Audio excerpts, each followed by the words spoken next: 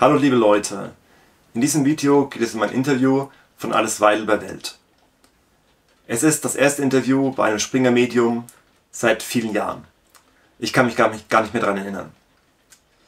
Jetzt im Folgenden das Interview und nachher ein paar Worte dazu, was Alles Weidel aus meiner Sicht sehr gut gemacht hat und was man vielleicht noch hätte anders machen können. Eben noch am Redepult im Deutschen Bundestag, nun bei uns zugeschaltet. Ich begrüße Alice Weidel, die Parteivorsitzende der AfD. Ich grüße Sie. Ich grüße Sie. Guten Tag. Frau Weidel, Sie haben ja gestern äh, verkündet, dass auch Sie in der AfD einen Kanzlerkandidaten aufstellen wollen. Bislang offen ist allerdings, wer es denn machen soll. Kann denn theoretisch jedes Mitglied Ihrer Partei diesen Posten erfüllen? Natürlich. Theoretisch äh, kann sich jeder aufstellen lassen. Und es ist auch letztendlich ähm, eine Entscheidung unserer Parteibasis und unserer Gremien, wer dort antritt. Aber Fakt ist, wir werden einen Kanzlerkandidaten stellen, weil unsere Umfragewerte ähm, auch zulassen und uns verpflichten, einen Führungsanspruch hier zu stellen. Hm, und diesen Führungsanspruch könnte in Persona dann auch Björn Höcke ausfüllen. Das heißt, auch er könnte Kanzlerkandidat werden. Rein theoretisch ähm, könnte er das tun. Aber Herr Höcke wird erstmal in den Landtagswahlkampf äh, nächstes Jahr in Thüringen gehen. Und ich denke mal, aufgrund des hervorragenden Ergebnisses wird auch er dort Führungsanspruch anmelden können und dort dann auch bleiben. Aber mit einem Rechtsextremisten, Frau Weidel, und so nennt ihn der Verfassungsschutz auch, hätten Sie doch wahrscheinlich Schwierigkeiten, noch eine breite Basis zu erreichen. Herr Höcke ist kein Rechtsextremist und der Verfassungsschutz ist für mich keine unabhängige Instanz. Herr Haldenwang hat das ja auch in dieser Woche gesagt. Es ist eigentlich eher ein Regierungsbestandsschutz und die AfD wird hier zum politisch Verfolgten gemacht. Frau Weidel, ist es denn so, Sie haben gesagt, auch Herr Höcke könnte es werden, theoretisch jeder. Haben denn Sie auch als äh, Parteivorsitzende, haben Sie da eine Art äh, Vorzugriffsrecht auf diesen Posten? Niemand hat bei uns in der Partei, die basisdemokratisch geprägt ist, ein Zugriffsrecht. Gewählt wird am Parteitagen oder durch Mitgliederumfragen und das entscheiden einzig und allein unsere Mitglieder. Aber hätten Sie denn Lust? Natürlich habe ich Lust. Andere haben aber auch Lust. Und eben, das entscheiden unsere Mitglieder. Mhm. Sie haben Sie Parteitag angesprochen, Mitgliederbefragung angesprochen. Auf welche Zeitlinie können wir uns denn einstellen? Bis wann wollen Sie sich denn spätestens entscheiden und diese Wahl auch durchführen? Ja, also die Wahlen, die werden nächstes Jahr durchgeführt werden. Mhm. Was war auffällig? Die Weltmoderatorin versuchte mit der Anspielung auf Björn Höcke, diesen negativ in den Mittelpunkt zu rücken, negativ zu framen und Weil dazu zu provozieren, sich in irgendeiner Art und Weise von ihm zu distanzieren, ihn schlecht zu reden. Aus meiner Sicht, Alice Weidel hat hier sehr gut geantwortet, hat auch die Basisdemokratie in der AfD in den Mittelpunkt gestellt, hat die Gelegenheit benutzt, positives Selbstframing zu betreiben, was ganz wichtig ist. Es ist immer ganz wichtig, die eigenen Leute zu schützen. Wenn Alice Weidel Björn Höcke schlecht darstellt, dann stellt sie sich selbst schlecht dar, weil sie mit ihm in einer Partei ist. Das war auch immer der Trick gewesen, zu versuchen, die Partei zu spalten, sie gegeneinander aufzuwiegeln, um sie dann durch Kontaktschuld schlecht framen zu können, alle am Ende. Mhm. Über mögliche Koalitionspartner haben wir gestern auch schon mit Ihrem Co-Parteivorsitzenden Herrn Kopalla gesprochen. Der hat da so ein bisschen gesagt, na ja, noch ist das nicht ganz fix, denn wir müssten erstmal die Landtagswahlen abwarten, wo die AfD vor allem im Osten der Republik ja besonders starke Umfragewerte hat. Heißt das, Sie nehmen in der AfD auch einer Absage von Friedrich Merz ganz klar nicht mit der AfD zusammenzuarbeiten, nehmen Sie ihm die nicht ab? Na gut, also Friedrich Merz wird vor allen Dingen in den ostdeutschen Bundesländern extrem unter Druck kommen, wie die CDU sowieso schon. Es finden bereits äh, informelle Gespräche zwischen der AfD und CDU ab, das kann äh, äh, statt und das kann Friedrich Merz überhaupt gar nicht verhindern. So und ähm, ich meine, Friedrich Merz wird intern enorm unter Druck äh, geraten, weil die CDU sich überhaupt gar nicht mehr weiter leisten kann, vor allen Dingen in Ostdeutschland mit Wahlverlierern, so mit Regenbogenparteien zu koalieren und sich einer bürgerlichen konservativ freiheitlichen Mehrheit zu verweigern. Also äh, das ist ein Kurs, der nicht durchhaltbar ist. Und ähm, dieser Kurs wird die AfD bei weitem zur stärksten Kraft machen, wie wir das jetzt auch beispielsweise bei der Landratswahl in Sonneberg in Thüringen sehen, wo unser Kandidat fast 50 Prozent aus dem Stand geholt hat und die CDU irgendwie weit abgeschlagen bei 35 äh, Prozent weilt. Was hätte alles Weil aus meiner Sicht noch anders machen können? Aus meiner Sicht ist es ein großer Fehler, in irgendeiner Art und Weise sich an die CDU in Aussicht zu stellen, dass man koalieren will. weil die CDU framet sie maximal negativ. Und das macht keinen guten Eindruck. Es wirkt unterbewusst so, dass die AfD versucht, sich zu qualifizieren. Es ist psychologisch funktioniert es so. Wenn zwei Personen zusammenstehen, die eine Person sich abwendet und sich die andere derjenigen Person zuwendet, dann wirkt diejenige Person stärker, die sich abwendet. Sie ist vom Status her höher. Und genau das ist hier das Problem. Die CDU sagt, die AfD, sie ist so schlecht, sie, ähm, sie ist nicht gut genug für uns.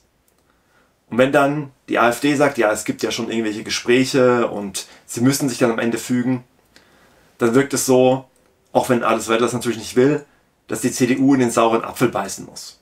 Und dass die AfD, ja, dass sie eben doch qualifiziert ist.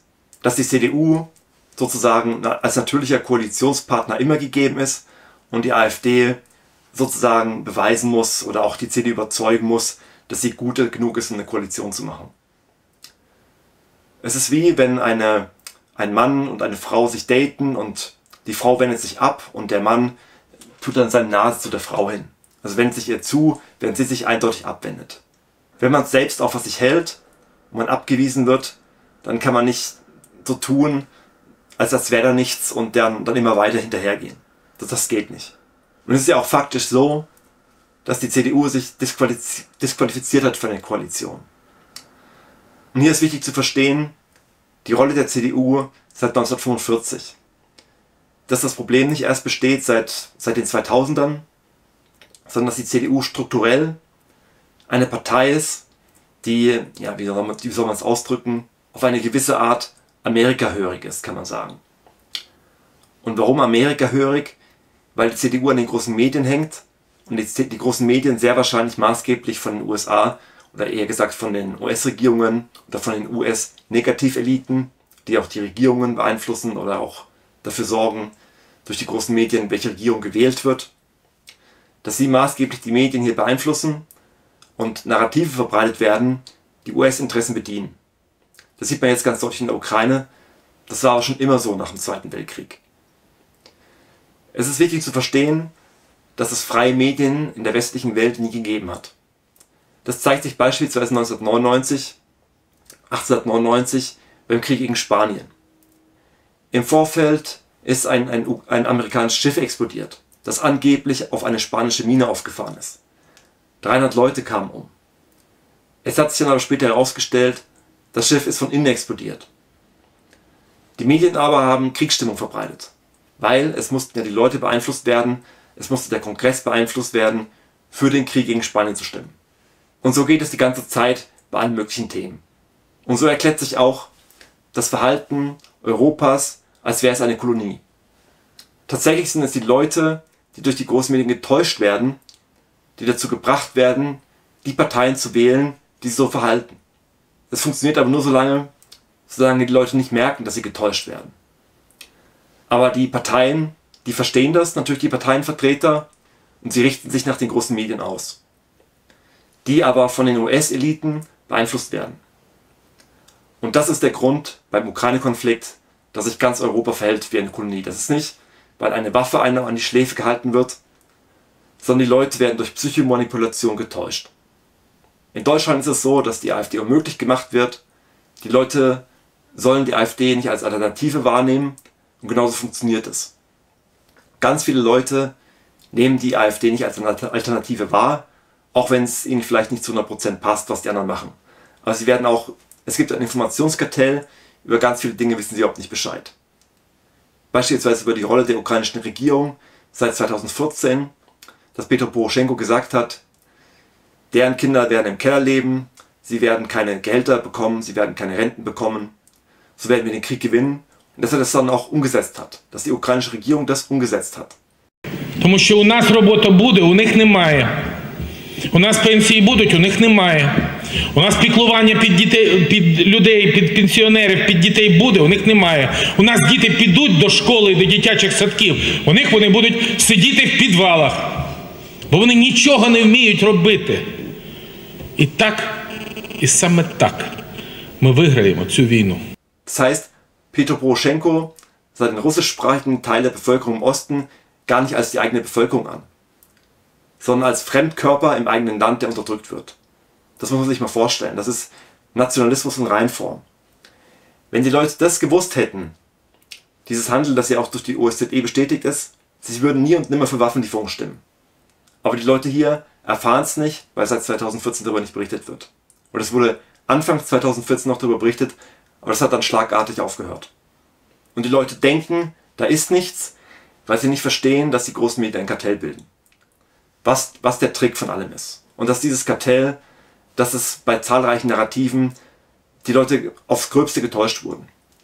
Sei es 9-11, sei es der Jugoslawienkrieg, sei es auch der erste Irakkrieg, wo beispielsweise nicht erklärt wird den Leuten, dass die USA sehr wahrscheinlich den, dem Irak signalisiert haben, ihr könnt den Kuwait angreifen, um einen Angriff von Saddam Hussein zu provozieren, um ihn dann angreifen zu können. Was der Waffenlobby in den USA nützt. Oder sei es der Vietnamkrieg, den die USA begonnen haben und nicht Vietnam. Nachgewiesenermaßen. Die Liste ist endlos. Und der Unterschied ist, dass 1945 bis 1990 die USA und Deutschland ähnliche Interessen hatten. Die USA wollten Deutschland aus der Sowjetunion raushalten. Also sie wollten dafür sorgen, dass Deutschland nicht, nicht schwach ist und dadurch nicht an die Sowjetunion fällt. Weil es immer Geostrategie der USA und Großbritannien war, den eurasischen Kontinent zu spalten. Wenn der eurasische Kontinent vereinigt ist, er, würde, er wäre erste Weltmacht. Und das wollten die USA unbedingt verhindern. Und das haben sie zeitlebens verhindert. Beispielsweise auch dadurch, dass Hitler schon in den 20ern massiv finanziell unterstützt wurde. Er ist Nationalist, das heißt, wenn man Hitler unterstützt, dann kann man davon ausgehen, es gibt irgendwann Krieg. Krieg ist Spaltung, dadurch vereinigt sich nicht der eurasische Kontinent. Es war auch so, dass als der Zweite Weltkrieg angefangen hat, Hitler immer noch mit Öl geliefert wurde aus den USA über Spanien. Japan hingegen wurde vom Öl abgekapselt. Das heißt, wenn die USA den Krieg hätten beenden wollen, den Zweiten Weltkrieg, sie hätten es ganz einfach tun können. Sie haben aber darauf verzichtet. Es zeigt sich auch hier das Medienkartell. Es ist ja faktisch so, ohne Öl funktioniert es nicht. Die großen Medien schweigen es einfach aus. Hinter Deutschland hat sozusagen die Rolle eines Mastschweins, das bei Zeiten geschlachtet wird. Man hat den Nationalismus gedeihen lassen. Archivmaterial zeigt aber, dass auch gleichzeitig ein Pakt mit Russland geschlossen wurde, und die, dieser Neutralitätsvertrag mit Deutschland, mit Hitler, dass er nur vorgeschoben war und dass bei Zeiten die Sowjetunion dann einen Angriff starten könnte gegen Hitler-Deutschland. Dass also Hitler-Deutschland nie eine Chance hatte, den Zweiten Weltkrieg zu gewinnen. Sondern der Zweck erfüllt wurde, den Kontinent zu schwächen und zur Weltmacht aufzusteigen. Das heißt, nach 1945, es war reiner Zufall, dass die, dass die Interessen sich, sich überlappt haben. Die CDU hat aber immer gehangen, an den großen Medien hängt es heute noch. Nur das Problem ist, heutzutage ist es Landesverrat. Das heißt, weil sie an den großen Medien hängt und die großen Medien bedienen die Narrative, die die US-Eliten gut finden.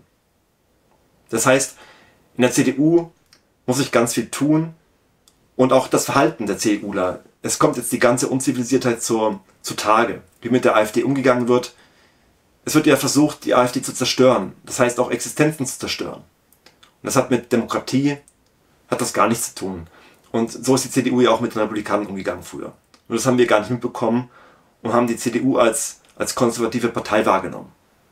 Was daran liegt, dass die Narrative der Medien noch Deutschland genützt haben. Wenn das hier eine seriöse Politik sein soll, ähm, ähm, da fragt man sich, was eine unseriöse Politik ist. Also das, was die Ampel hier abliefert, ist zutiefst unseriös, unprofessionell und ich halte es auch für den gesellschaftlichen Zusammenhalt für zutiefst gefährlich. Hm. Frau Weidel, lassen Sie uns noch mal kommen. Sie haben gesagt, Sie wollen selber auch Politik gestalten, ne? wollen also nicht mehr in der Opposition dann auch bleiben. Da müssen wir aber noch mal konkret werden auf das Thema äh, künftige Regierung, Bundestagswahl. Denn bislang ist es so, dass ja jede der existierenden Parteien auch wirklich eine Zusammenarbeit mit Ihnen in der AfD ausschließt. Nun gibt es noch eine Variable, die da drin steckt, die heißt Frau Wagenknecht. Sie überlegt ja öffentlich sehr präsent, ob sie vielleicht eine eigene Partei gründet. Hoffen Sie denn darauf, dass das passiert und dass da vielleicht eine Zusammenarbeit möglich wäre?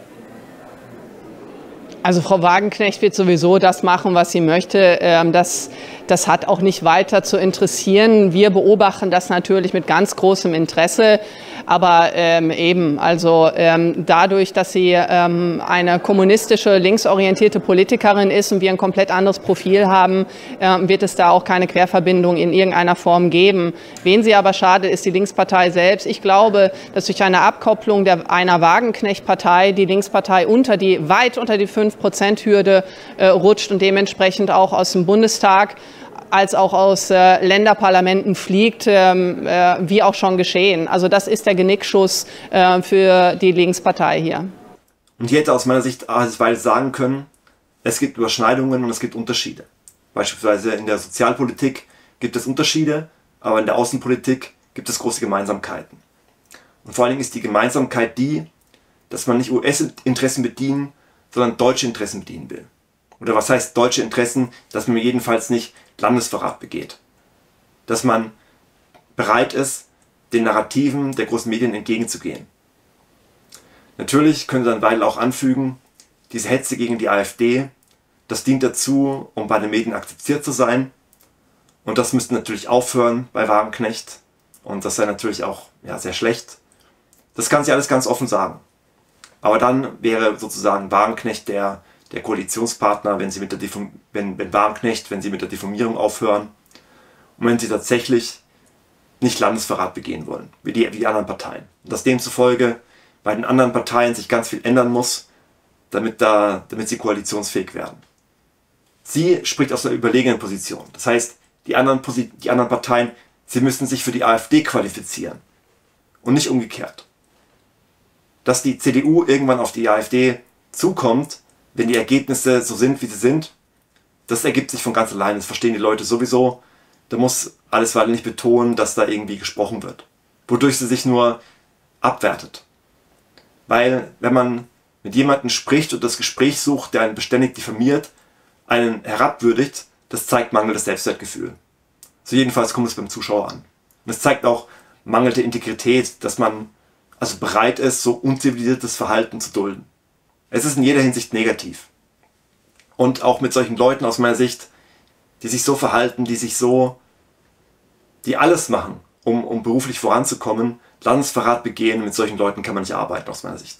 Und ist ja der Zeitpunkt, also das jetzt Gern. zu verkünden, dass Sie eine Kanzlerkandidatur einreichen wollen für die nächste Bundestagswahl, die ja erst in über zwei Jahren auch stattfinden wird. Wollen Sie sich so ein Ticket auch für die anstehenden Kanzlerduelle sichern? Also ähm, das steht eigentlich erstmal im Hintergrund. Ähm, Im Vordergrund steht für uns die inhaltliche Sachpolitik, die uns ja auch recht gibt in den Umfragewerten. Wir sind steigend, wir sind bei 20 Prozent plus. In den ostdeutschen Bundesländern, wo auch nächstes Jahr Wahlen äh, stattfinden, sind wir führend und daraus leitet sich automatisch ein Führungsanspruch ab. Und dementsprechend werden wir einen Kanzlerkandidaten stellen. Was alles weil noch hätte anders machen können aus meiner Sicht, war die Antwort auf die Frage, nach der Medienpräsenz durch, durch die Kanzlerkandidatur. Alles Weidel hat geantwortet, das wäre jetzt nicht so bedeutsam, dass man dann auch mehr ins Fernsehen kommen würde vielleicht, durch die, dass man sozusagen das Ticket lösen will für die Kanzlerduelle. Aber aus meiner Sicht, hier hätte man genau sagen müssen, dass es natürlich genau auch dazu dient, dann, wenn man schon nicht eingeladen wird, dann, dass man deutlich die, die Ungerechtigkeit, dass dadurch wenigstens noch deutlicher wird dass man auch die Rolle der Medien nicht klein spielt, weil die Medien spielen auch eine ganz große Rolle. Und es ist ja genau wichtig, die Bevölkerung darüber aufzuklären, wie sie durch die Medien beeinflusst werden, dass die Medien nicht fair sind. Als Weile hätte deutlich machen können, natürlich, wir, wir möchten natürlich ins Fernsehen, wir hätten auch schon viel mehr Prozentpunkte, wenn uns die Medien fair behandelt hätten. Dass es überhaupt nur möglich gewesen ist, uns unter 20% zu halten, die AfD unter 20% zu halten, weil die Medienberichterstattung absichtlich unausgewogen war. Und hier könnte alles weiter deutlich machen, dass, die, dass es auch keine Kunst ist, für die AfD viel mehr Prozentpunkte zu bekommen als jetzt 20 Prozentpunkte, weil seit vielen Jahren die anderen Parteien systematisch Landesverrat begehen auf allen möglichen Themenfeldern. Deutschland geschwächt wird durch die Entscheidungen. Seit vielen Jahren, sei es Zuwanderung, sei es Energiepolitik, sei es jetzt Waffenlieferungen in die Ukraine. Dass ständig nicht die deutschen Interessen bedient werden, sondern sehr wahrscheinlich vermeintliche US-Interessen. Jedenfalls die Interessen, die Geostrategen in den USA formulieren. Und auch nachweislich formulieren. Alles Weidel würde so über die Rolle der Medien aufklären und auch über die Politik aufklären. ist aus meiner Sicht auch ein Fehler, überhaupt die anderen Parteien als unprofessionell hinzustellen. Weil das sind sie nicht, sondern sie bedienen die Interessen, die, die Narrative der großen Medien. Das sollte man hervorheben. Dass die Gesetze schädlich sind, nicht dass sie unprofessionell sind.